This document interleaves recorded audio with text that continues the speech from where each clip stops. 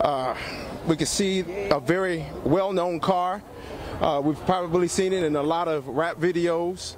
We've probably seen it on Instagram several or so times. We've probably seen it on Facebook. Um, we know who that car belongs to. Um, you've seen that car before.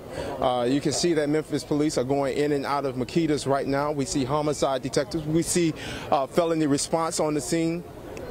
We see a lot of top brass from the Memphis Police Department on the scene, uh, and it, it, continues to grow. I, I, don't know if you can hear it, but Southgate, pan down, pan down. You can see people are just hit with emotion here on this scene. Um, a lot of uh, the victim's family is on the other side of the tape on Joy Lane. Joy Lane. Um, you can see a lot of the family, the sisters, I believe, of the victim right there at the barricade.